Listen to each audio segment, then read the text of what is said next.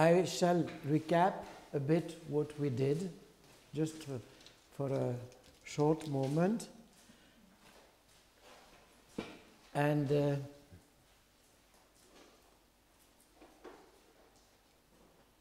this is a document that uh, I'm going to give to, uh, I mean, that will be given to you. Oh, did I give you the, the मैंने दिए हैं ना आपको Oui. We, because I made a short document just to give you uh, a few words about uh, kind of summary of about mythology. hmm? And after that, you shall get a proper document uh, because last night you you so you you you unfortunately you had to listen to me very late also. And uh, I was to reconvert my PPP files into a printing document and well, I couldn't frankly speaking I couldn't you see, and I have this thing that when I correspond with my family in Europe, they are not in France, they are in Netherlands. So there is still this four hours gap. So if I want to send something quickly, I have to wait for uh, midnight. Mm, that is bad. We share the same book. Uh-huh. Yes. You must have recognized it, no? Yeah.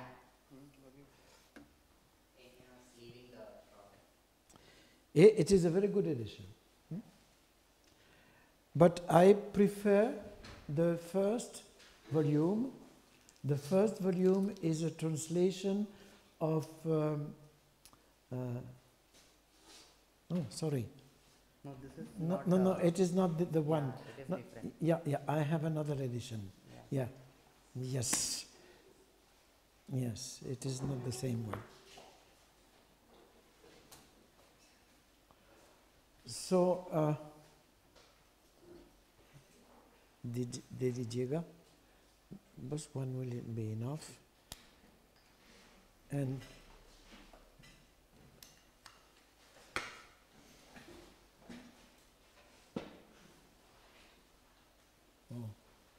just one second I switch it off because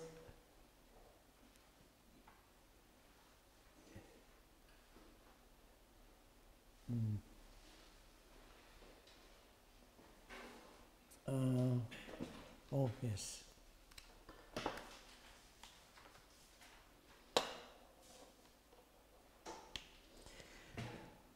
so uh, Sushanji आप इसे छाप छपवा सकेंगे अभी या नहीं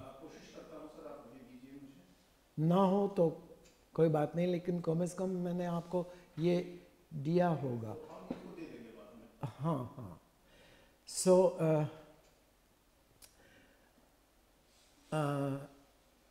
just to recap from the first lecture hmm, you remember those important points that I told you as far as uh, uh, uh,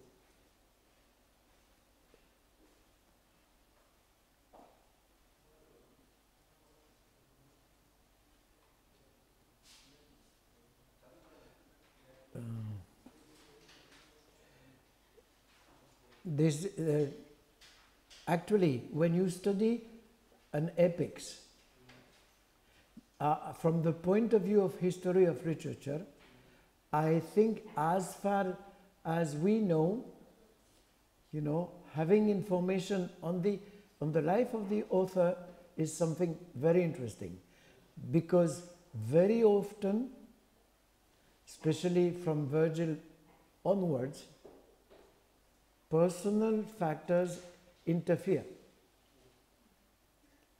uh, when Virgil does his Aeneid, he uh, obeys a kind of state command. But still, he cannot help putting his own point of view, you know. Izzat ki baat hai. It's a matter of personal pride. Uh, they, uh, an author may be subservient, may be uh, at the uh, at the service of the uh, of the king for writing epics, but he has also this uh, inner demand that I should not only copy the, the ancient writings, no, I should have something of my own. And this happens everywhere, every time. Because, after all, a, a poet, an author, he may be paid by the king, but he wants to be singularized as a unique poet. Hmm? So the individual, the biographical factor has some importance.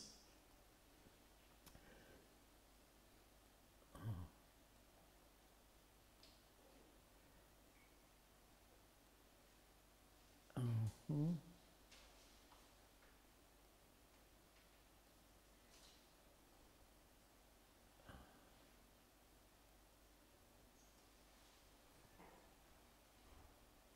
Where is it? I have written so many, so many things, I'm lost. Uh, so, yes.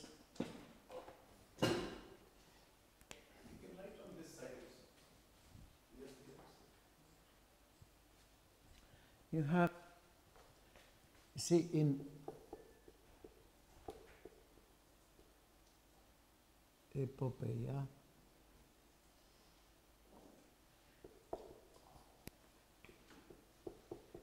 epics. So I say that the person and life of author, it does matter.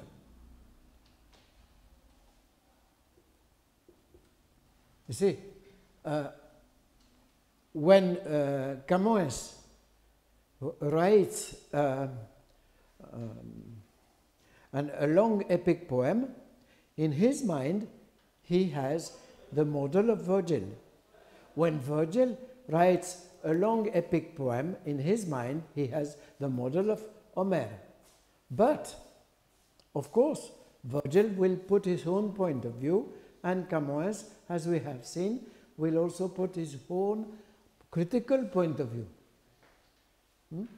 So you have this that somehow contradicts the classical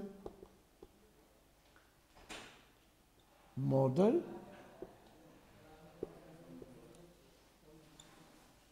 wanted by the uh, by the, the power that be, I think, the political power.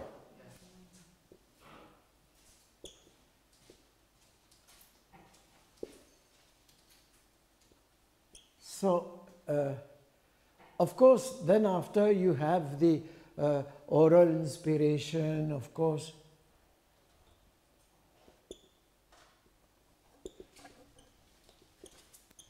The exaggeration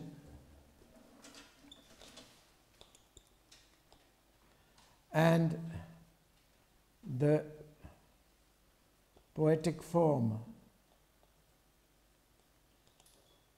Uh, these points are important to remember, but at every stage, the poet, uh, he, of course, tries to give his own um, singularity. So, this I wanted to uh, stress on. Hmm.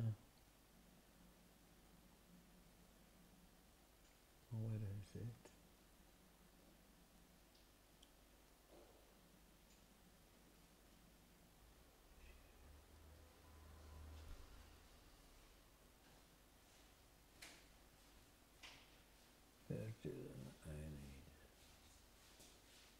pages.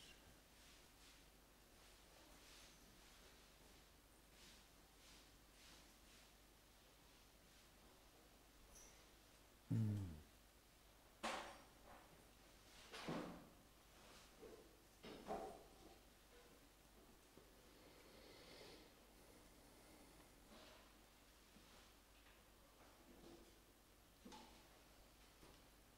I know. Well, I'm sorry for that.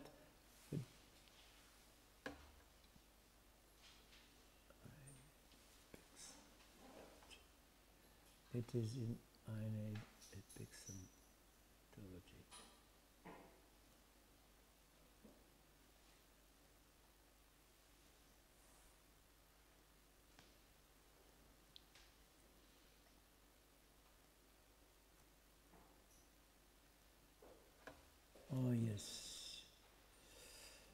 Mm.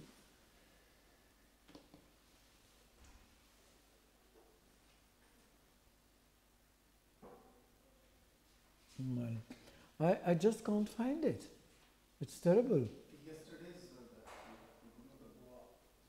Yes, no, but I mean to say the thing that I wanted to give you. Okay, leave it, sir. You can send it. You can have it to us. Yes, I found it. Yes. क्या हुआ मतलब जो चालू होगा मुझे मिल चुका यहाँ अपनी बाहर रखा हुआ है। नहीं नहीं निकाला No, no, था केवल। मैंने I, I offed it. I, I took off this because No, no, but we have to start that. The projector is not working. no, because I took off the cable intentionally. Otherwise, my computer does not bear the weight of it. See, and uh, I cannot.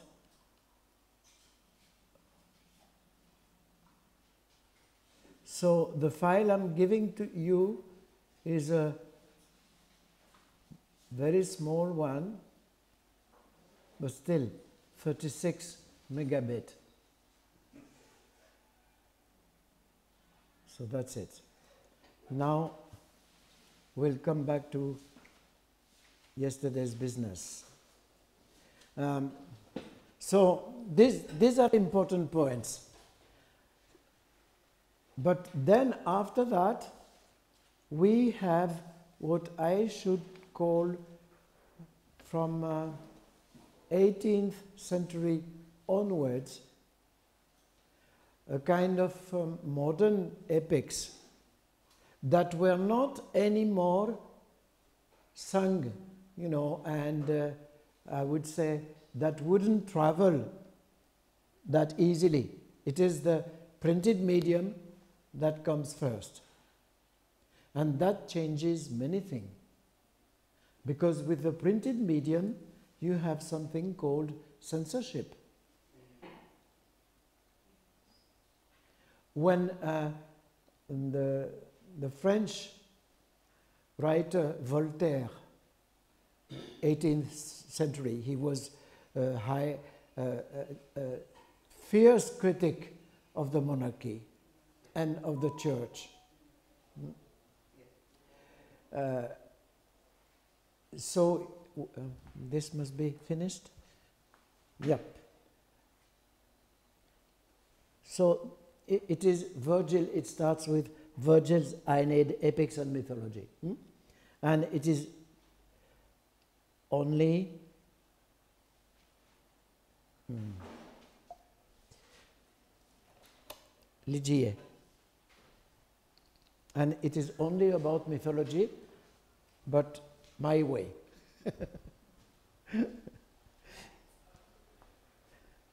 All colorful.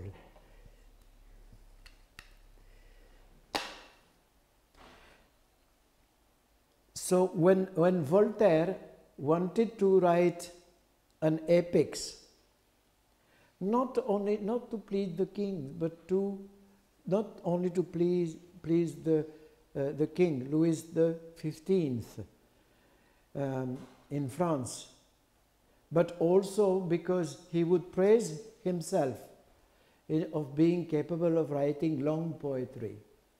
Unfortunately, Voltaire's tragedies and epics, that was a flop later on.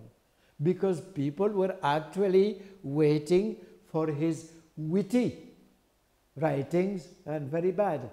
So Voltaire, he, he failed. He failed. But uh, otherwise, uh, I shall tell you a small poem by Voltaire, and you see, he was so, so good at it. Un jour, au fond d'un vallon, un serpent piqua Jean Fréron. So, one, uh, one day, in the depth of a uh, gully, hmm? no, a gully, a, a valley, hmm? a snake bites Jean Fréron. Jean Fréron was a very famous Jesuit in Voltaire's time. And Voltaire says, devinez ce qui arriva. Guess what happened after the Jesuit was bitten by the snake. He says, guess what happened? And then he said, the beast died. You see? In cauda venenum, you remember? So, so he was that uh, good, you know. So it is uh, uh, ambiguous because the beast could also be the priest. so the, the, uh, with this kind of spirit, how could he write uh, long epics uh, in, in, in praise of the French king? And in praise of the church. That was impossible, actually. It was. So, the, uh, so the, the personality of the author often clashes with this.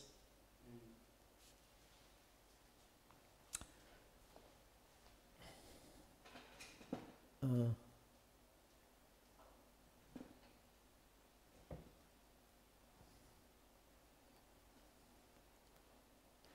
so, uh,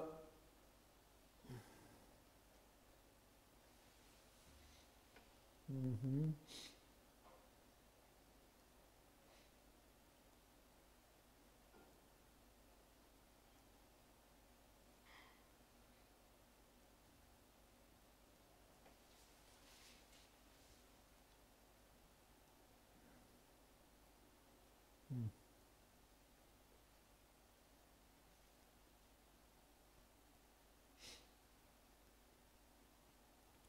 Now you remember we did, um, uh, we commented this. Hmm? Now, uh, it is very, very ambiguous. Of course, 19th century publisher, oh, I should uh, enlarge it.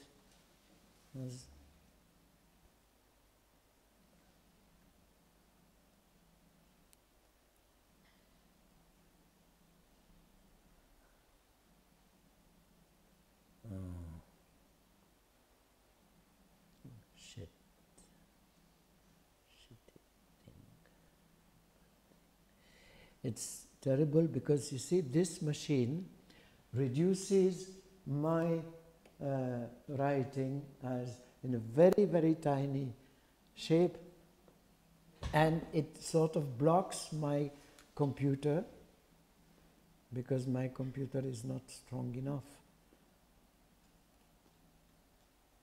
Now, do we have a case? नजर आता है you can see it, yes, in a better way. So, Jean Batel entro, uh, entro u capitão. Um, there is a mistake here. There shouldn't be any D. Uh, o rei que no, nos braços o levava uh, you see here, uh, he feels sort of his duty is not to show the Indian king as a fierce enemy the first time. Because uh, because he has been fighting those people he has been talking to them and he does not want to have a black and white picture for him that would not be realistic maybe the, the king will not be very pleased the king of Portugal to hear that, oh, there are Oriental kings. Oh, do they have powerful kings? Yes, they have. Oh, are they, uh, do they have good manners, those savages? Yes, they have, says uh, Camoes. Because he's been a long time in Asia, he's been a long time in Africa, so uh, uh, he also tells the king that, look, if your army beats uh, uh, savages, whatever, you know, people who have no law, no, that's too easy. It adds to your prestige to have stronger opponents and noble opponents. because uh, Camoes was too intelligent to you know adhere for, uh, only to the crusader ideology because there, were, there was a crusade you know the crusade you know what it is everybody understand me hmm? Salibi Jang we say uh, the, the, the so-called reconquest of the Christian by the Christian of the Holy Land of Palestine. And the northern people in Europe, when they wanted to go against the Arab and Berber power that had settled in Iberia for seven centuries, by the way, uh, they thought, oh, they said, oh, we did fail to recover Jerusalem for a long time. Okay.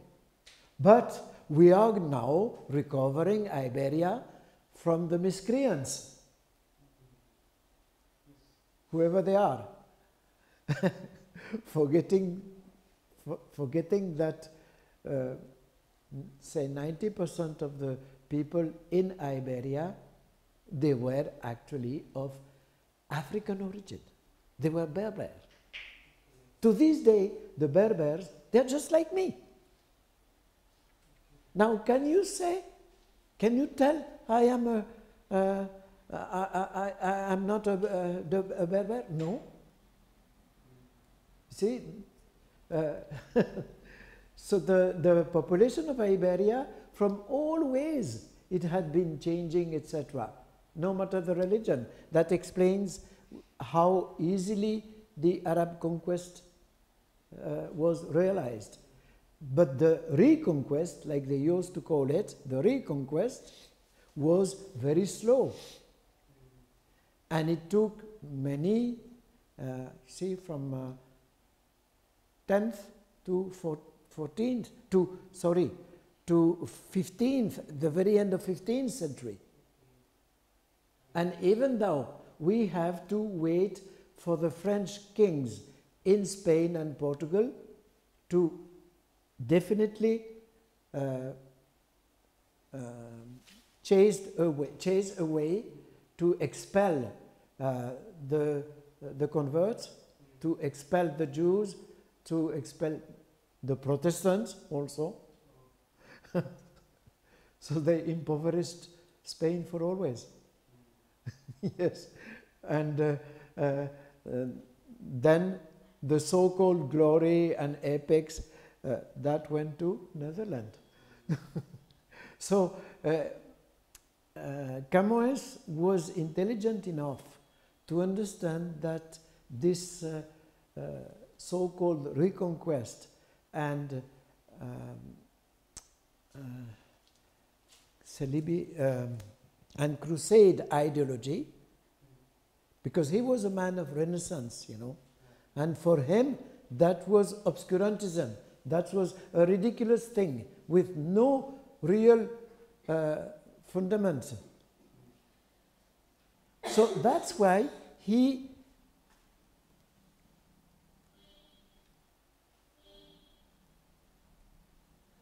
he introduced the king of Melinda as not only a powerful king, but someone who has heard about Europe, and that was true, by the way, while the Europeans had never heard about him. So he does. So he. Uh, uh, já no batel entrou o capitão, o rei que nos seus braços os levava e com a cortesia que a razão por ser rei requeria, lhe falava, com umas mostras de espanto e admiração, o moro, o gesto e o modo lhe notava, como quem em muito grande estima tinha gente que de tão longe a Índia vinha. So, you see, this stanza, I shall translate it in my poor English. Already in the small boat, you remember the picture? Yes. Already in the small boat uh, entered the captain. The captain is Vasco da Gama. But he says the Ray, the king, the, the Indian king, took him in his, in his arms so that he could board the small boat. Now look at it. We, he says, with all the courtesy and the, uh, uh, and the, mm, the right reason that because he was a king, because he is a king, so he is a courteous man, he is educated. The, the Portuguese, they were not ready to listen to that. Hmm? With con mostras of espanto y admiration. But he has to say, well, the Indian king was uh, afraid, but also admire, uh, in admiration of the big boat, you know, and the big artillery. Umoro, now the Portuguese, they would put in the same bag whoever was Muslim, he was a Moro. Moros in Latin, in Latin means having brown hair. Mauritania was the country of people with brown hair. So later on, with this uh, uh, crusade ideology, the Moors, they became the Arabs, they became the Muslims, you know. And uh, uh, when the Portuguese come to Indonesia, where they, for example, in some uh, sultanate there, uh, they, they don't even listen to the, to the speech, they don't look at their custom. Oh, they know the king is a Moor. The king is a Muslim, therefore they are all Muslims, which was totally wrong. Totally wrong. But, you know, so he has to use this. Moro, o e modo notava, uh, he says that uh, the Indian king was noticing the way that Vasco da Gama was performing. Hmm? Como quem em muito grande estima tinha gente que de tão longe a Índia vinha. vinha. Like somebody who uh, has in great esteem, in great respect, people who come from such far away, so far away to visit India. So here you have a picture of an educated man, of a good will, will man who receives the Portuguese captain with all courtesy and, uh, and uh, what should I say, and respect.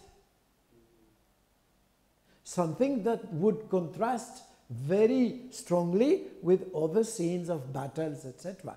But then there's more to it. You know, he uh, uh, is supposed to be the king of Melinda in India. Uh, he describes his attire, the richness of his attire.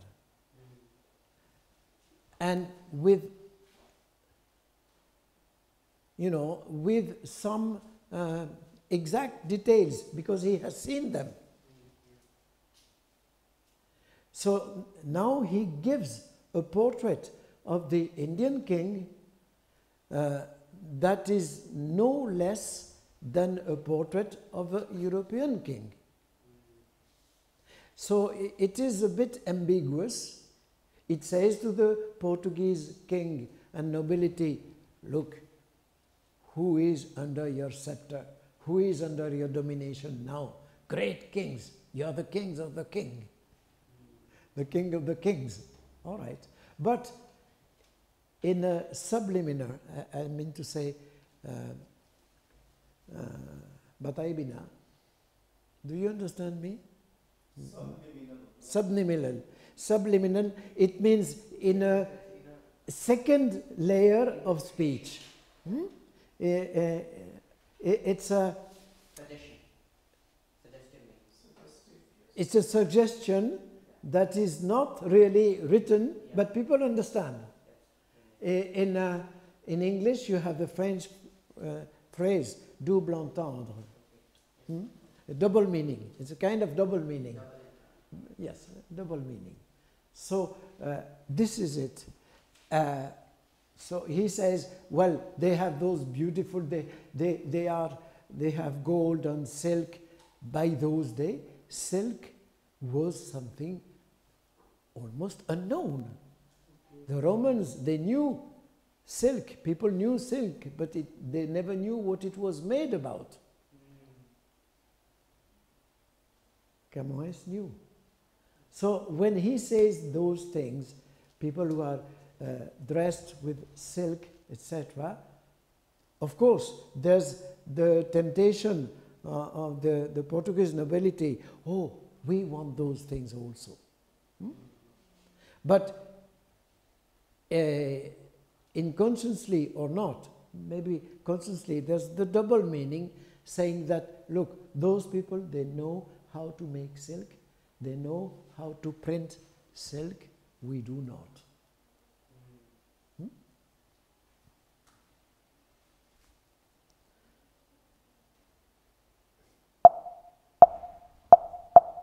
Uh-huh. So the, the passage of the visit of the reign, uh, the, the visit of the king of Melinda to uh, Vasco da Gama is a key passage uh, that one should not expect in an epic poem that is to glorify the, you know, the, no, uh, to, to glorify the, the great battles, the great conquest, the bloody conquest. Hmm? Remember, on the beginning, the first. Uh, mm, uh, no, I. Yes.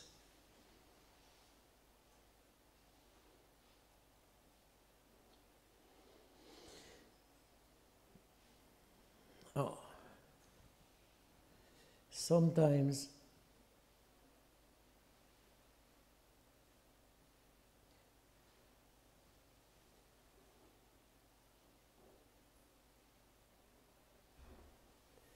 I have to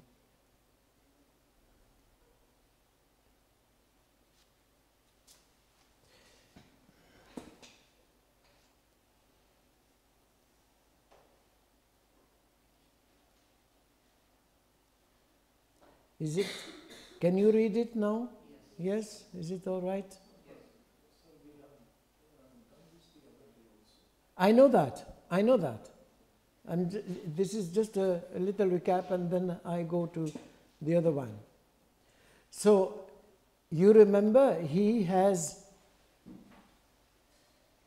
Oh. In the beginning, he had settled his official plan for his, uh, uh, for his epics that he will sing the conquest and then the history of Portugal. But now he goes totally out of it. He goes on presenting a picture of India, of India's with an S. hmm? That is a totally different one. He is no more in the battles, in the glory, etc. So there are inner contradictions, and uh, the poet makes an effort because he has to reconcile himself with what he has seen. He thinks that he should be, you know, not only aping Virgil, not only glorifying the bloody empire, which he says here, devastating, you know. So, this is how we should read him. Now, so much for this. I have to come to uh, to the the Indo-Portuguese again.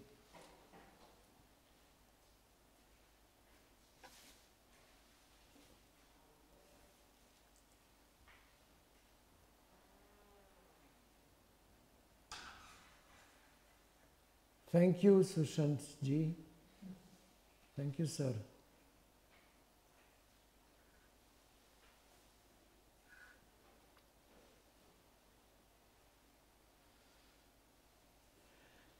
Now, if you remember how um, started, and uh, uh,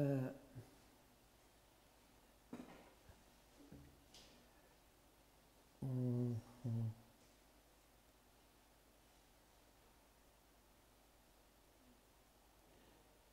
Camões started saying that I'm going to sing the glorious history of Portugal, the glorious conquest of Asia by the Portuguese king. Yet, yet, he puts his own point of view. And uh, how many centuries later?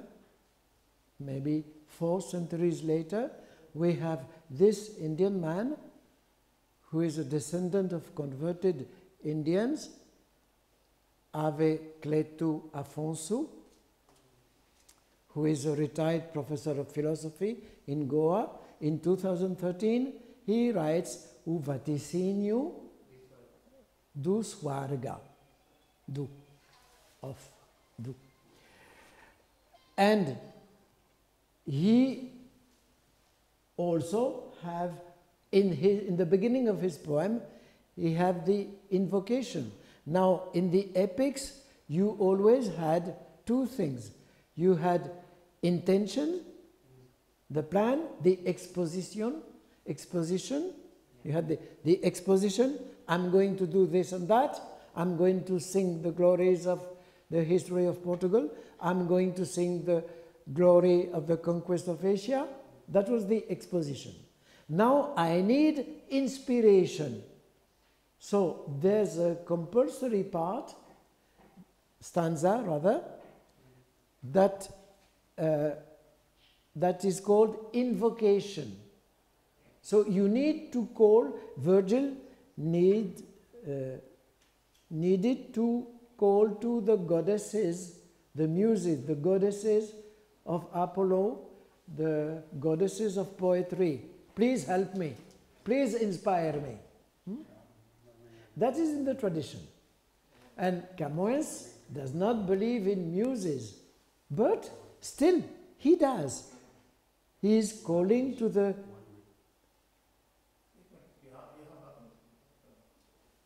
he is calling to the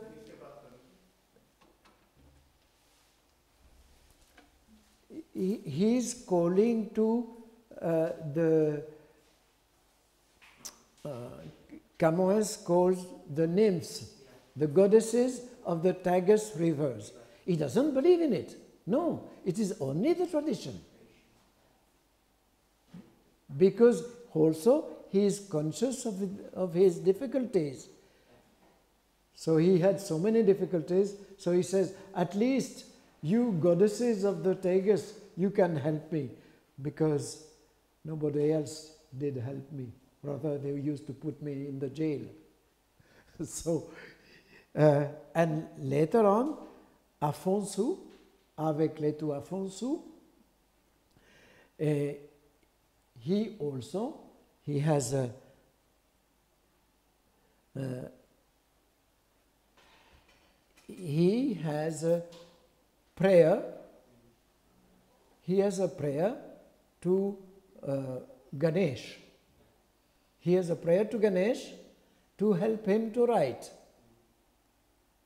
And he also has uh, a prayer to Saraswati.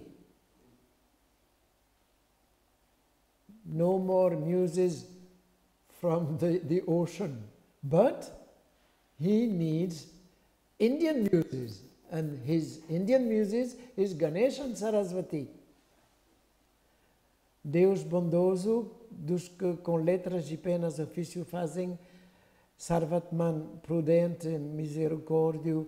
I translated this in uh, uh, Yes. Om Sri Ganesh of blessed name, generous, God for those who profess the art of writing, omniscient, wise, all merciful, for those deprived of your grace, curved trunk, strong. Curved trunk is an allusion to Ganesh trunk. Uh, strong and courageous, son of noble parents, whose bravery, words, fear, Give me of thy genius, of thy art, nothing more than a small part. And uh, the second one, I'm sorry, I inverted the order. Om Saraswati Maya, of wisdom and deep, of wisdom and deep knowledge, thou art goddess of font and alma. Alma, like alma mater, means nourishing you see, you have in English alimentation. Hmm? O font and alma of the sonorous uh, harmony. Sonorous harmony is poetry. That this sullen words, word so much needs. I stopped here my translation because I was too tired, simply. so, uh, the uh, hmm.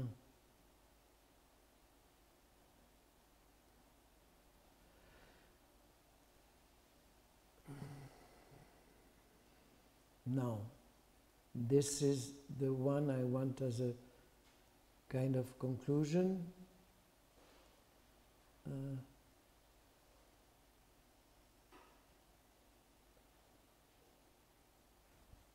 Is this readable? Yes. yes? Now, this is at the end of his preface because um, I, I read very carefully the whole, he has a long, long introduction in his book, uh, Afonso. For example, in his introduction, he gives a photograph of the last governor of Goa as a war prisoner shaking hand with the Indian officer on the moment he embarks to uh, Portugal. We are still under fascist regime, by the way. And I told you I knew those days because I was in Portugal also as well as in Spain under Franco and Salazar. I have seen them from far away. I heard them because we had to. Hmm? so I know what I'm talking about also. So uh, he shows the last prison, the, the last governor of Goa in uniform. He was a, an army officer, not a navy officer, and his Indian counterpart, they are, they are saying goodbye together to, to each other. When he is liberated, and the Indian navy officer is in white, and you know, for the press, they shake hand. And Afonso has uh, a small legend saying the, the, the final departure. And along to this photograph, he shows a classical image of Vasco da Gama coming to India and meeting the king, just like the image we had before. So he places these two pictures side by side in his book. And so there are two legends one with Vasco da Gama, the coming, and the second one with the last governor, the departing. And more to it, he, on a map, he draws the voyage of the last uh, Portuguese prisoners going back to Lisbon and compares their sea voyage to the voyage of Vasco da Gama. See, that is very clever of his. So he has two maps. One map is the returning um, um, Portuguese Navy uh, ship that is bringing back the last uh, Portuguese prisoners and the last governor back to Lisbon, and they had to have a long voyage because they were not welcome everywhere. Remember, these are the days of Salazar still. Hmm? And uh, it resembles a bit the long voyage that Vasco da Gama had. And in addition, he puts another map with the uh, voyage of Aeneas. So you see, uh, he, he is a modern man. He cares of illustration. And this is a new thing. Illustration, photograph, pictures, etc., are now uh, more than even 19th century because they are, there is now with modern technology you have uh, you know illustrations in colors in a much easier way than before. Much easier. So Afonso takes the advantage. Hmm? so let us see what he says here. Let this provocation of mine rustic and poor as it may be, que esta minha provocação, por mais tosca e pobre que seja, vá agitar, uh, oh, there's an accent missing here in vá, vá agitar os espíritos melhormente equipados com imaginação literária e arte da língua.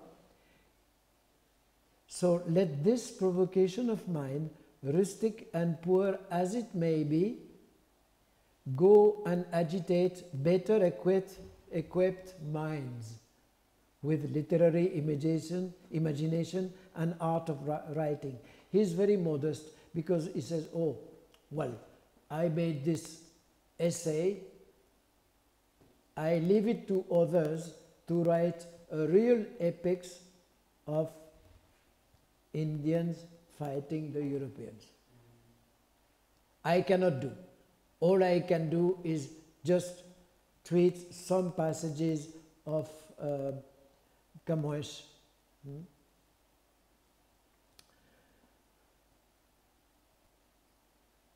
go and agitate better equipped minds, agitate better equipped minds with literary imagine, imagination and art of writing that may result in other works of greater value and merit, not only to adjust history's pending accounts and erect barriers against as, as against any possibility of continuing or repeating old sins. Here he is hitting at what we call neo-colonialism. That is, uh, not long ago, I think 10 years ago, in France, which is, by the way, a secular um, democracy, uh, some people from the right wings, they proposed a new law saying that, uh, well, we should forget about the bloody war we had in Algeria. And by the way, maybe we were not as culprit as, you know.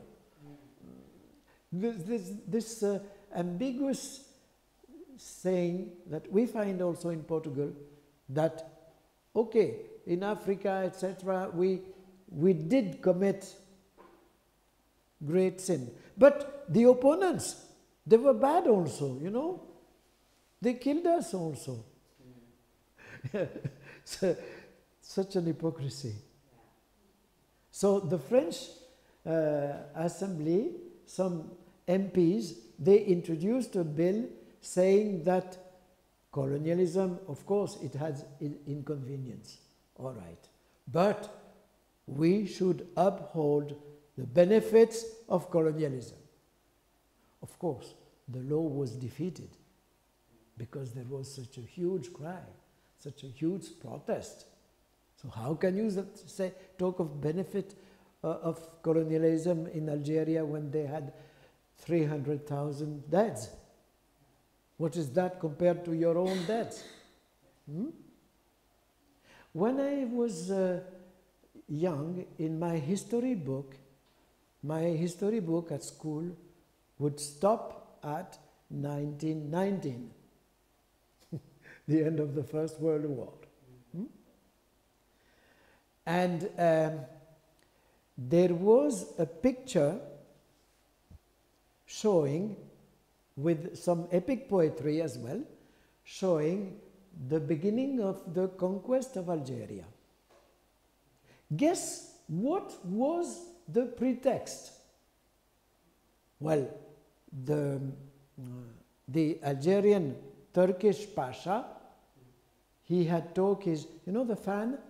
With his fan, he had struck at the French ambassador. That was an unbearable provocation, and that explains why we needed to have a war. And besides, those Algerians, they were all pirates. You know, they were uh, blocking the trade. And you know, the liberty of trade was also a flag of colonialism, liberty of trade. And that was true with the Portuguese as well. So you see, with such a, uh, such a pretext, they justify a bloody war that lasted from 1830 to 1890, something like that. And there was no real Pax Romana ever in Algeria. So in Portugal, we also had uh, attempts like that. You very aptly mentioned that it's Salazar who instituted the first stanzas of, NA, uh, of uh, Camões uh, Lusíadas, Lusíadas, Lusíadas, uh, as national anthem. Salazar did even more. He uh, convocated the whole nation by radio on the fall of Goa, Akeda the Goa. And he had a long speech saying that this is not the end of the story. but it was. but it was. So when uh,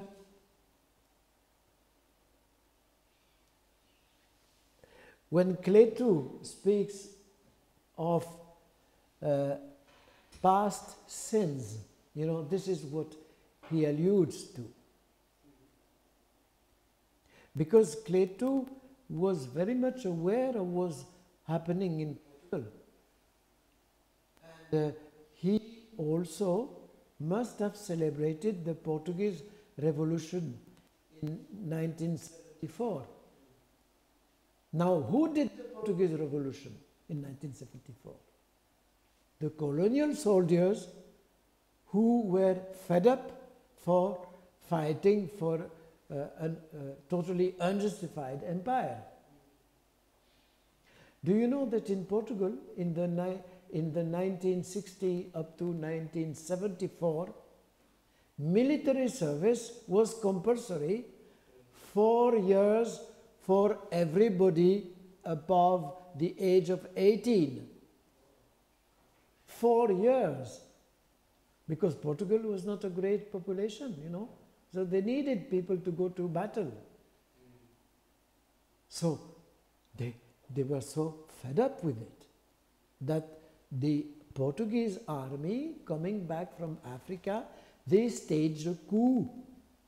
And even more than that, a few, were, a few months later, in the whole of Portugal, you had autonomous communities who declared that uh, the, the, uh, I mean, to, to the hell, hell with, the, uh, with fascism. Uh, we want to, buy, to ban all these things. Uh, so that happened 10 years, more or less, 10 years after the fall of Goa. And uh, uh, when uh, uh says, continuing or repeating old sins, he is hitting as a rightist reaction in Portugal that followed after the 1974 coup. They had you know, a rightist government also that came back. Not a fascist one. That was impossible. Thank God, I should say. But he's hitting at it. So saying that no, uh, the, the cultural fight is never lost, never lost. We have to carry on. He says, yes, Portuguese is part of my culture. Yes, you know, 400 years is something. Yes, but my way, but our own way. You see, he says, let this provocation of mine, rustic and poor, poor is, sorry, this is a big mistake, poor, P O W E R. it's a typing mistake. Uh, poor as it may be, go and agitate. Uh, um, no, I can't.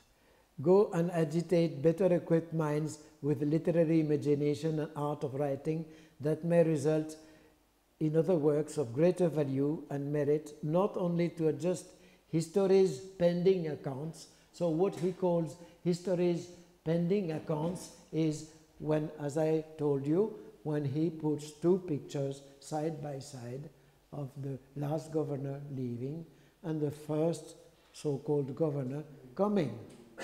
Vasco da Gama and the last Portuguese governor whose name I forgot. Oh, I knew his daughter. Yes, in Lisbon, his daughter, she became a shop owner. and once I entered the shop, and uh, because I had here I hear, heard about her and I did ask her about her father. She was not very proud of it.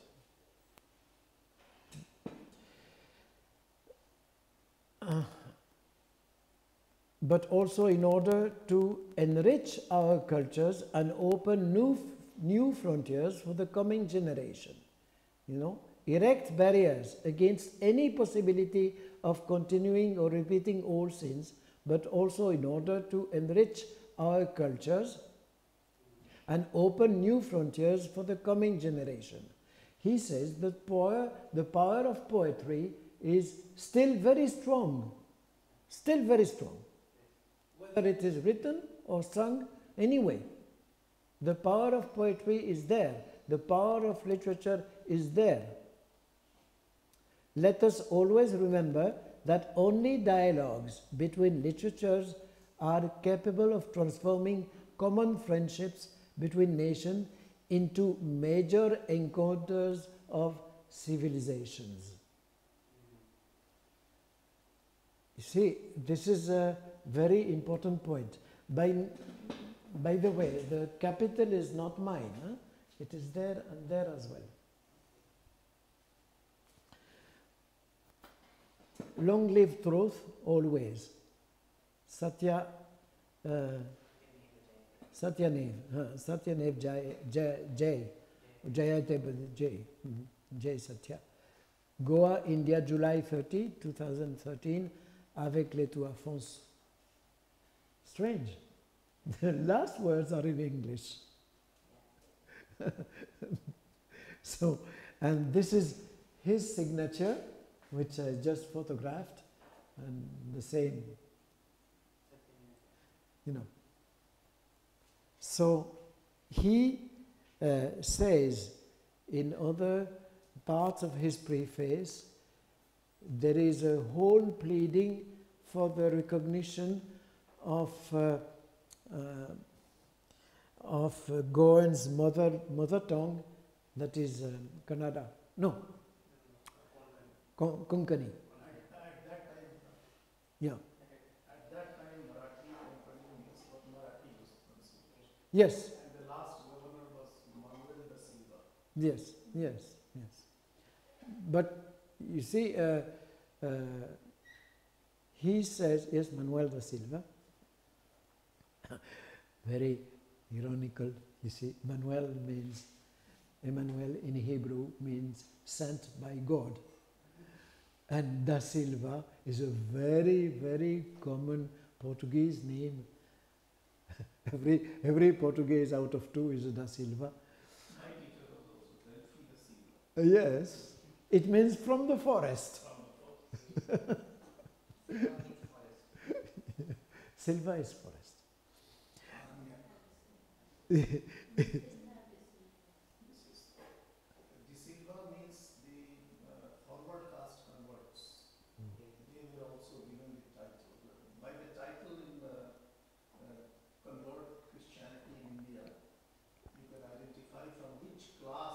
Yes, there is a whole code. This is the whole code. Yes, there is a whole code that dates back to 17th century. Not 16th, because 17th century they did, they, they settle it, they settle it, they settle it. So, uh, the, he has um, a plea for Konkani. Now, uh, in Portuguese day, the, uh, days, they were confused between Kannada and Konkani. And they used to call the Indians from Goa areas, they used to call them Kannadis, Kannarese. So, for a long, long time, Because Goa has population from Kannada, from local and Yes, That time we had mainly Marathi and uh, Kannada. yes, Konkani was not there. Konkani is a later phenomenon in linguistics because it's hyper-creolization. That Konkani is, a, is, a, is an example. and, and yes, and, and, and Cleto uh, Afonso, he pleads for developing Konkani literature. He says, okay, we will not drop um, Portuguese. Well, let people who are better than me do it. All right, okay. But we should not drop Konkani. We should develop Konkani. And this is what is happening now. Uh, at the beginning of month of January, I was in BHU with you.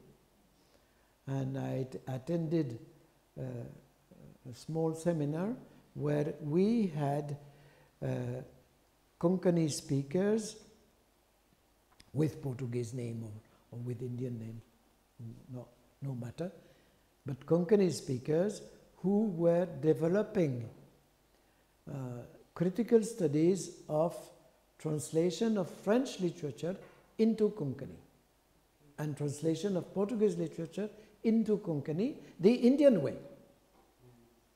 And this, uh, you see, we are far from the classical models, etc. We do not forget about them. No, we do not forget. But we have to be up to today's needs and techniques. That's why uh, Cleto has such a colorful uh, representation in the. Uh, come on.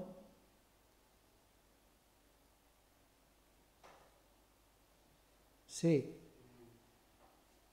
the Swarga. So he puts it in the first cover of his book. That is a kind of manifesto, a dual one, I would say. First of all, saying that poetry, etc., that is all right. But the art of picture, the art of illustrating, is now as important. Pictures are a mean to translate. Picture is also a kind of translation. And his work is adaptation of uh, some parts of Camões. So he says adaptation, if it has to be successful, we should have pictures. And colored pictures, and sort of, you see, this is a, I would say, a pedagogical picture. At the end of his book, he has, uh, I did not have time to show it uh, because I could not retrieve my photograph. Before coming to India, I spent two or three days hastily making photographs of my old books. I opened my Lusíadas, which I bought in March 1964. You heard? 1964. I had opened it very often, but I did not read much because for me it was taken for granted. You know, I, I, in my career, I quoted many colonial chroniclers of uh, India compared to Persian chroniclers. By the way, they did know, know each other. There was a school of translation in Lisbon where they had not one but many Indian uh, and Arab uh, translators working. This is why the Portuguese fonts are very, very interesting. They are biased, all right, but who is not? In history, you have to choose your camp. So, uh, comparing these writings was uh, essential for me. I do not know Persian well, but thanks to Urdu, that translates very much very close to the original, I can read. I can I know what it is there. Arabic is much more difficult for me. I, Arabic I can just use the dictionaries. Arabic, Arabic, I can use the dictionary. But further, no. But Persian, I can appreciate the text because of the Urdu text and because of the Portuguese contemporaneous text. They, sometimes you find a Portuguese uh, chronicler, he has three or four pages literally quoting an Indian chronicle that has disappeared. And this is very useful. And he says, they say, oh, the Indian chronicler says this and that. I say this and that. Hmm? So uh, the uh, I say that the, uh, our work now is to look at those texts, to criticize them, whether it is uh, epics, because epics, as you remember, epics is also history. Hmm?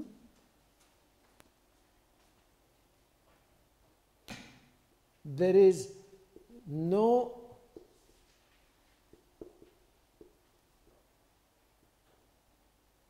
no epics without history. There is no official propaganda without history. It's everywhere, everywhere. So, the, it is a duty of historians. I, I place myself as a historian of literature, but still doing history because without history, I'm, I would say I'm powerless. And of course, knowledge of languages is basic. So, if you have to retrace the whole uh, succession of epics, whether it is here or there, you find key moments of rewriting, of printing, of illustrating, of adaptating. You see, these are uh, uh, key moments of the history of literature. Translating, recomposing, adapting, which is not really translating. Of, very often there comes a point where you cannot anymore translate because your translation is not readable if you want to be read. I'm not talking of scientific translation, that is another thing. I could write, if I took time, I could write a good scientific translation of, say, uh, poems, which I know quite well. Well, it, if it is in English, it will take me time. If it is in French, it will also take me time because my literary French is far from perfect. I'm not a writer. But then uh, I can supplement my translation of Lusiadas with notes, like you've seen them hmm, in the Latin text. I, I have to supply notes and even a glossary so that people can understand the classical text. Because now uh, Lusiadas is a classical text. Above that, if I want to give a reading to, say, young people, I cannot do that anymore. I have to make it shorter. I have to put pictures. I have to maybe write easy poetry, you know. So, uh, on one side, you have the scientific effort of uh, translating, criticizing, editing epics, keeping in mind all these points, you know, the life of the author, the classical model, the uh, oral inspiration that later came to written, uh, the exaggeration, the poetic form, etc., etc. Also, something that you have when you are looking at those texts, also something that is a must now if you have to commend them, is archaisms. Now, uh, in, um, in Camões, we do have words and locutions and phrases that were not anymore fashionable in his time. He did that on purpose. He did that on purpose. One of his uh, intentions was to say, Hey, I am from Galicia, remember? What is now northern Spain. So my ancestor's speech is not like the king's speech. So I'll put some of it. And in addition, to give a kind of, you know, respectability to his modern poetry, 1571. He puts many, uh, many, yes, quite many forms of Portuguese that were not used in his time anymore. The printers, they were at loss. And, you know, uh, this is a catastrophe. The first two printers, when, and there was one print first in 1572, and a second one the same year, because the printer, by the way, he was of French origin, printing industry came from France and Portugal, Gallardo, Gaillard, huh? Gallardo. Uh, Gaillard means a strong man. Guy, Gaillard. So he was at a loss. And errors were so many, printing errors. So they said, oh no, we must have a second print. And they had a second print, and then uh, Camões intervened. He said, no, I want this and this and that. But in, in those days, censorship, the court, the printer, because the printer was also a publisher. They had their say. And uh, it was very difficult for Camões, to get his own uh, work printed to the extent of it that some people, after his death, they got hold of the manuscripts and they made supposedly better versions in Spanish under the Spanish king that had become the king of Portugal. Much to the deception of the soul of Camões, who was dead by the way. So, you see, uh, epics, they do have this to this day. I mean, even 17th century epics or 16th century epics that it was difficult to fix them. The authors themselves, they would say, oh, my language is not today's language exactly because I am inspired by Virgil, I am inspired by Homer, so I cannot speak like you do now. I have to introduce this and that. And then the, the publishers would say, oh no, but these are errors. And that has made modern publishing of Camões very difficult and very late. And there is also another thing. Epics, they became classics and part of teaching subjects. Hmm? Now you have a problem you cannot teach 10,000 verses to 16 year or 14 year or 13 year children. They will run away. you cannot, it's impossible. In my youth, I remember theoretically we had to learn once a week 100 Latin verses from Virgil. I never succeeded. And we never succeeded, actually. That was all in the imagination of the teacher. we, we couldn't, that, that was not possible because we had to do mathematics, we had to do history, we had, you know. So the, the professor, Latin professor, he had to compromise. Hmm? So uh, now the approach to epics at schools it is uh, very delicate. Say, in 1964, when I bought my Camões in Portugal, by the way, there was a long preface for the students. It was a, a recommendation to the teachers also.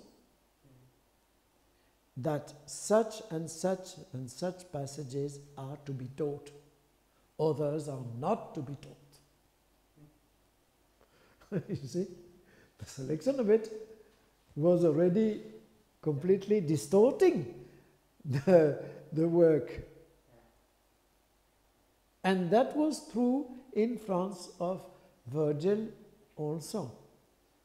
And when uh, uh, I was very fortunate because when I started studying Portuguese, I was, I think I was 12 years old. Uh, Spanish and Portuguese.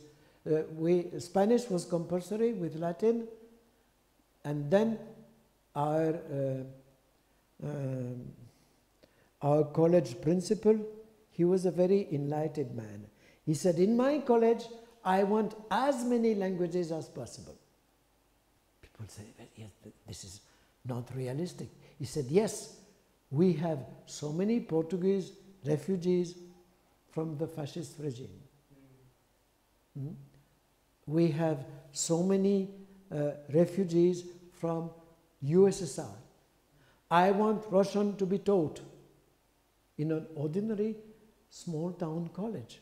I want Russian to be taught. I want Greek to be taught because in his mind that would go side by side with Russian. I want Portuguese to be taught. But then they said, well, we have no grammar of Portuguese in French.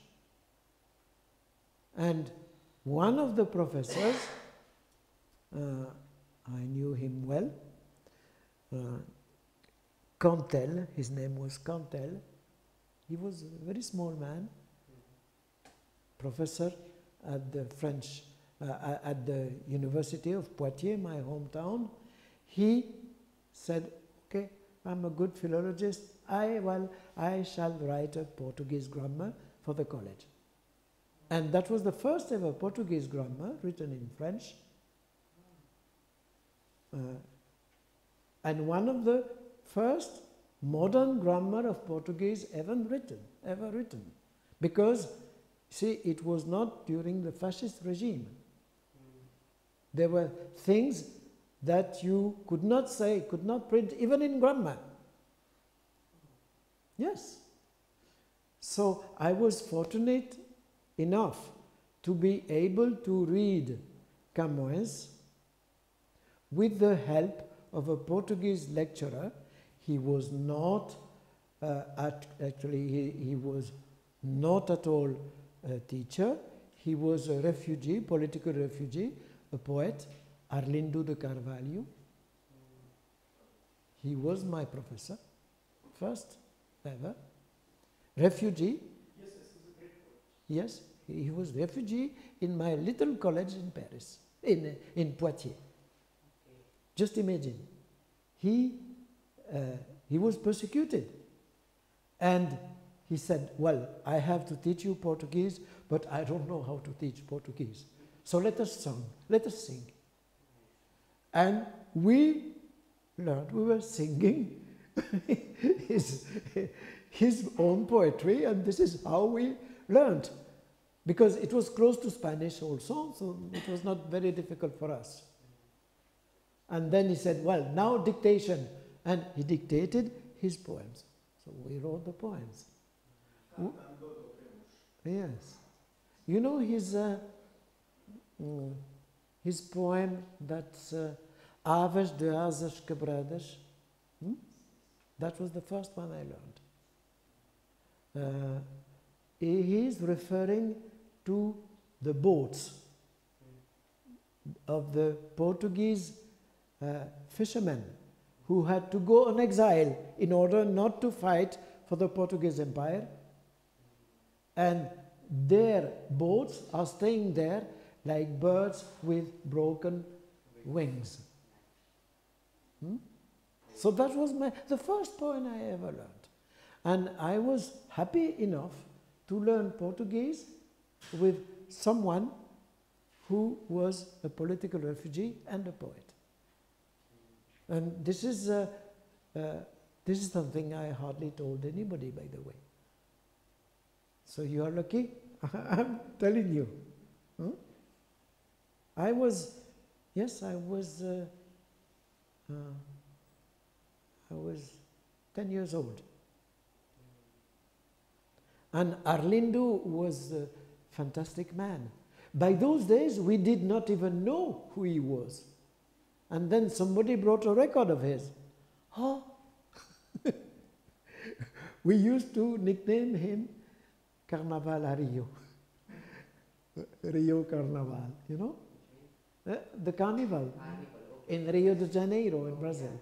So, so we were uh, so fascinated by the music and, and the, the we didn't have any other reference anyway. So that's it. Now uh,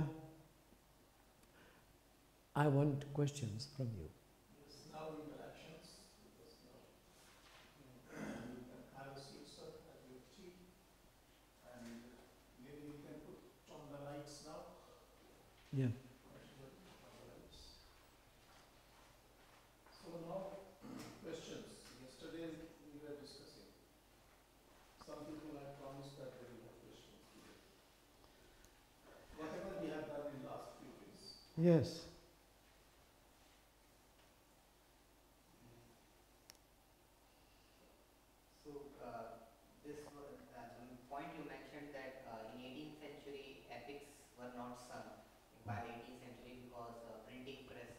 Yes. Yes. Yes.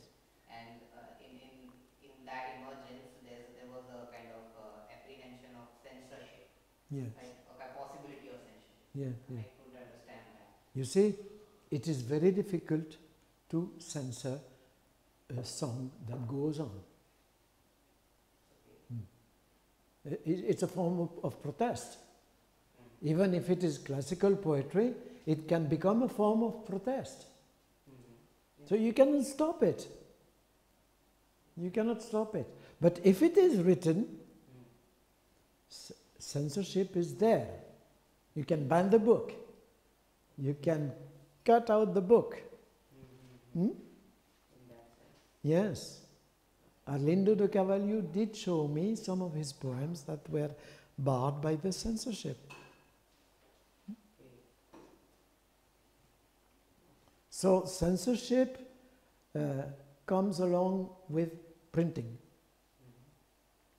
because the king or the power they had what used to be called privilege. If you were a writer, you would plead from the king's ministers and from the church.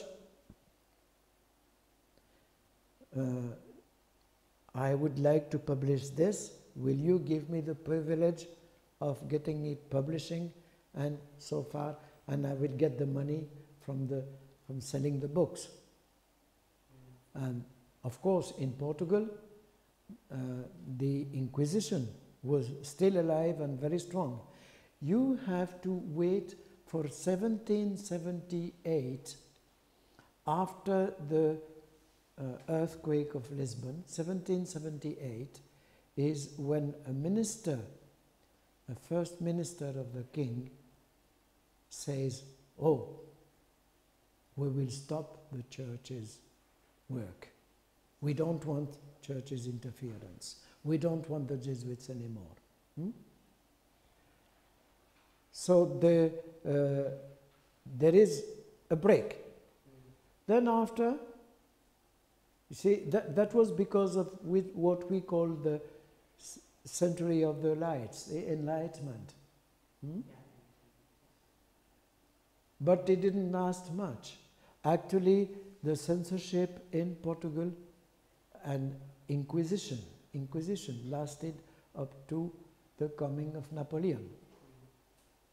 Napoleon must have been a bloody conqueror, etc. But thanks to his coming, um, Inquisition was officially abolished. But come to think of it, 1535, 1812 of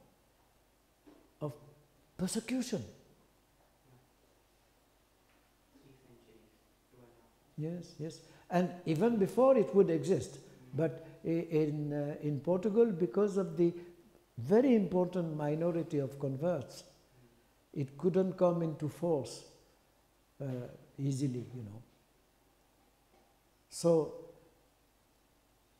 printing means censorship for, for a long time. For a long. Huh? Braga had it for long. Braga is a city in Portugal. Yes, They had it with British. yes, yes, yes, yes. And you, you stay, studied Almeida Garrett, no? You, you must have read Auto da Fé. Mm, yes. Okay, so any other questions, any other remarks Please. from Thailand? We are waiting for something. Garima? Sir, uh, during Camo's visit to Goa, is there any possibility that he has been acquainted with Indian text and that has an, that has, has had an impact on his writings? Uh, on the beginning, no, because he, uh, on the beginning, no. But in later years, yes, because he knew Arabic.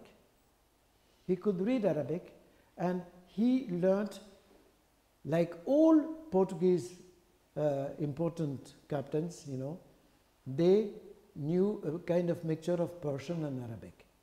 And through that, they had some inklings. Now, the church in Goa was uh, very early, very, very early, produced text, Christian text in Konkani and in uh, uh, and also in Persian. There was a school in Goa that was called St. Paul's.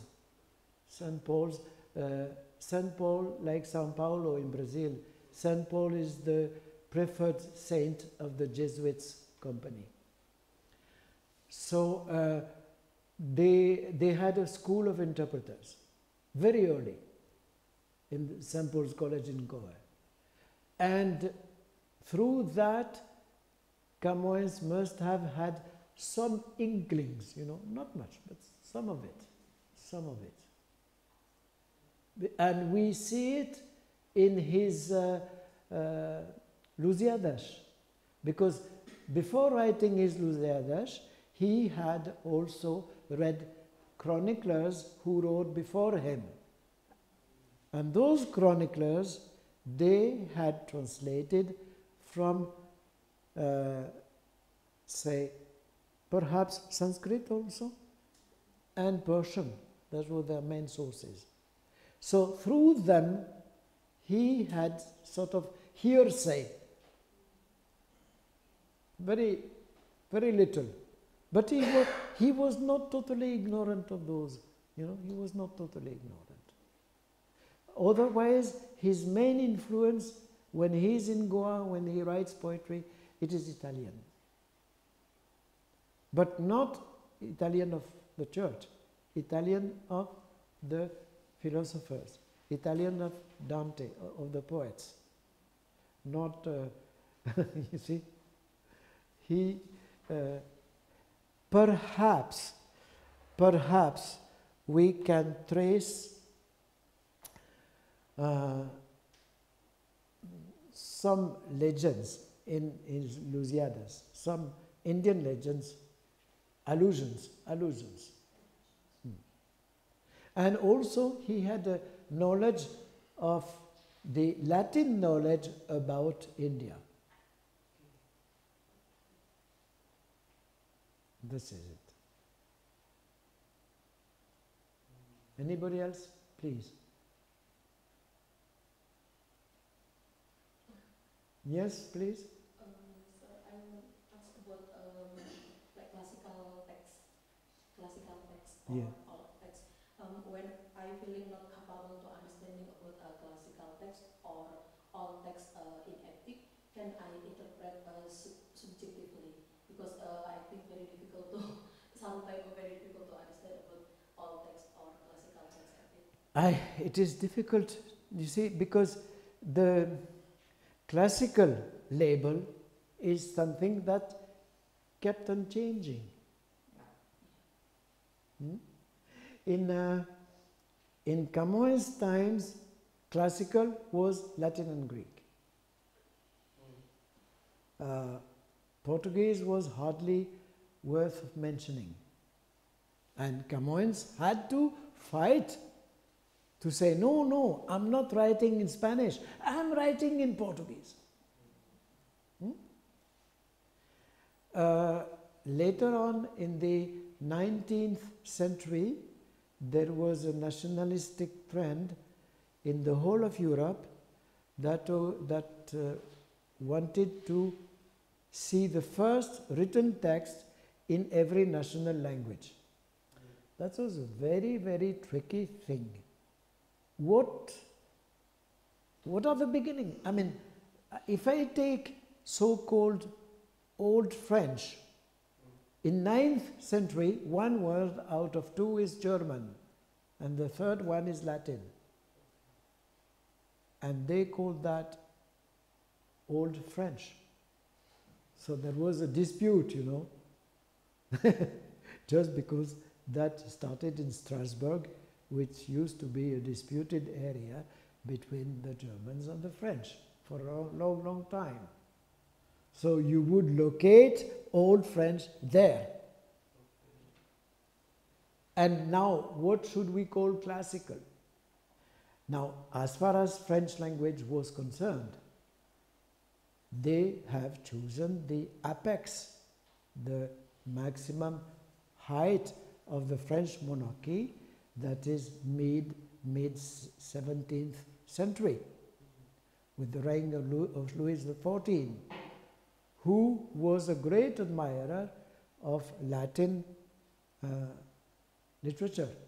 So there was something called the French Academy that was instituted as an imitation of the Greek academia, hmm, which was something different, but well, and and then the French Academy was able to say, well, now later on we will consider as classic French terms the Louis XIV epoch, you know, mid 16th, mid mid 17th century. So in almost every country, you have a definition of classics, and people tend to adequate the notion of classical literature with a supposedly glorious period of your country. Hmm. And there is, and it keeps on changing, of course. Because languages, they do change. And power, governments, they do change. Hmm. So the idea of classicism is very practical if you say, oh, a classic is something that is told, that is uh, uh, taught in classes. so this is a, a very sort of hypocrisy, hypocrite definition, a practical one, say. Hmm? But if you scratch a bit, underneath there are other ideas. Hmm? So classic is something that keeps on changing, and from one nation to another, they have a different notion of which time, which texts, which authors are supposed to be classic. The Belgium, Belgium is a country, as you know, hmm? they are very close to us, very close. They have a majority of French speaking, and others they have uh, uh, Flemish speaking. But you see, uh, they had a political problem when they wanted, some people wanted to separate Flemish speaking land and going to Netherlands. But the Netherlands people said no, because your kind of Flemish is not ours. We don't want you. And also the Flemish people said, well, if we want to be independent, well, where are our classics?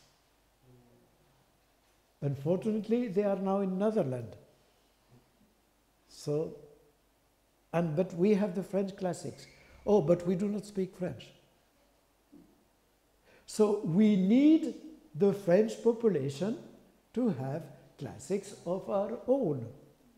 So Belgium has, you know, a kind of compromises with classics in Netherlands and in uh, uh, Netherlands speech in Flemish and in French as well. And they have chosen poets who are of Flemish origin but used to write in French as their favorite poems, poets. You see, classics is also a political necessity, just as much as epics.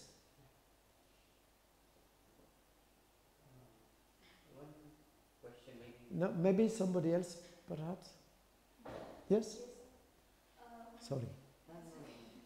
I want to ask that, so, um, because I know Homer Iliad as a famous epic in the world, and if I'm not mistaken, you explained related to Indian, and I think like Indian also uh, has some famous epic.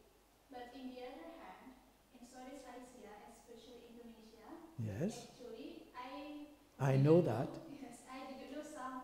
There are some epic, Yes. but it's not famous epic. So my question is, uh, ep- uh, a narrative or poem can be famous epic should have got influence from the colonialism or what another aspect to be the world literature. Uh, have you ever visited Singapore? I haven't. Uh, never. I visited Singapore twice, Uh, for every time more than one week. The second time, there was a huge ex- exhibition in Singapore National Museum showing the Ramayana from Indonesia with pictures. And you see the wall behind you? Look at the wall behind you, please. The height. And you multiply this wall by in length by 20 and you have an idea of the role they brought from Indonesia for exhibition. It was a huge roll painted, and it would take a full aisle of the museum to be exhibited. Even they could not finish. They had to roll part of it. Hmm? And that was fully colored like this you know, images. I'm not told enough. I'm sorry for that. Huh? With the text. But texts were a just minor thing. What would matter is the picture, which is a good way of teaching as well. So, this is how, came, how I came to know about Ramayana in Indonesia. Yes, actually, Kakawin, it's like Kakawin, Arjuna Wiwaha and Samprakawin. That's also the famous epic from Indonesia because it has related to Indian Yes. culture. Yes, uh, you see, uh, in Dutch time in Indonesia, that was suppressed. That was suppressed because it would mean uh, want of independence, simply. Hmm? I have seen also exhibitions in Amsterdam, where my family is now, um, of uh, um, Indonesian classics linked with the revolution movement. There was an exhibition about that. But it took 10 years before the die-hard uh, um, I mean Netherlands people, you know, they still had die-hard colonialists, people who were from the former police in Indonesia, they did not want to hear about it. And they fought with the museum authorities saying, no, no, having an exhibition on the independence of Indonesia. No, for God's sake. They have killed so many people of ours. No. But then the museum was stronger and they had that exhibition. Hello. Yeah, hello. So uh, that exhibition lasted for quite a long time and uh, I visited it. It was mostly in Dutch with some English, you know, subtitles somewhere, but I needed no translation, of course. So you see, uh, classics were brought there, and there was, uh, like Cleto Afonso says, there was a strong uh, uh, opposition within Netherlands not to show the Indonesian revolution. And I'm talking of three years ago. You have a quick question. Uh, yes, I wanted to ask, is, is does Urdu have uh, an epic? Yes, of course, yes. Because it's like a form. Yes, yes. Uh, A- A- Amir Hamza, the Amir Hamza stories uh, have been rewritten and enlarged in Urdu.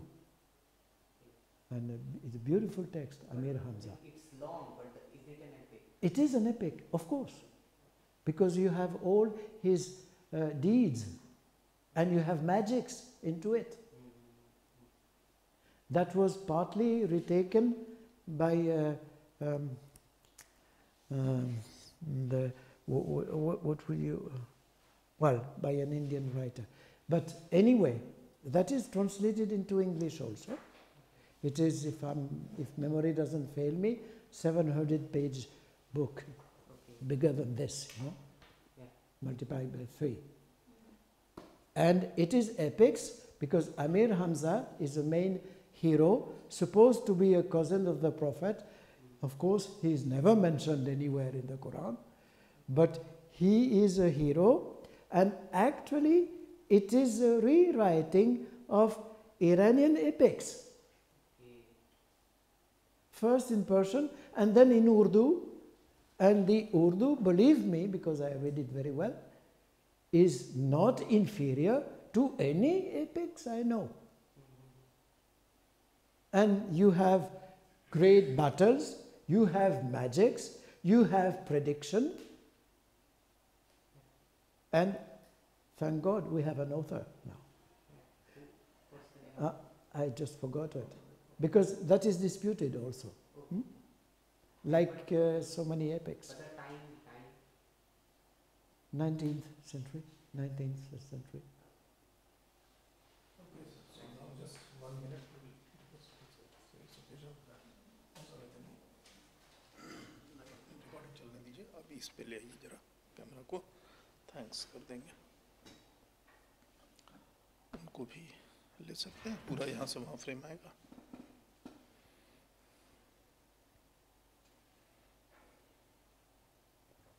Oh,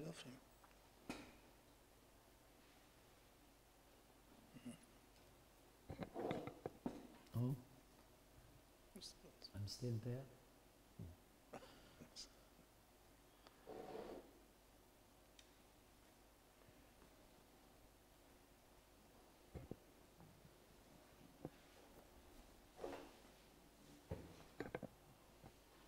Oh, yes it's 11:20.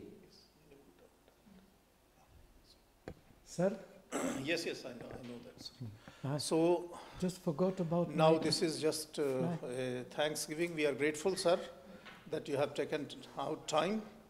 And uh, you can see that you have interacted well. And the, a few traditions, as we say, we should know the epic traditions, its political dimensions, what is classical, what is classics, the political dimensions of that.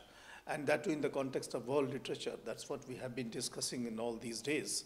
So now I think we are much more enriched with the intervention of uh, all the uh, aspects of epic from various traditions, from various texts, and how it, the tradition continues even in 20th century in different ways, and its political and cultural implications that we have been discussing. So we are grateful, sir, for your time and for your patience and for your kindness to talk so politely. I know you are a very polite person. That is the uh, sign of a very scholarly person as well. so we are grateful, sir. I, we thank I'm you from the part of all our uh, institution, from uh, and from all our school scholars, and from all the teachers and from the department. And you Thank you, shall get my writings later on because I'm committed to send to Sushant, you know, transforming my PPP into printable text.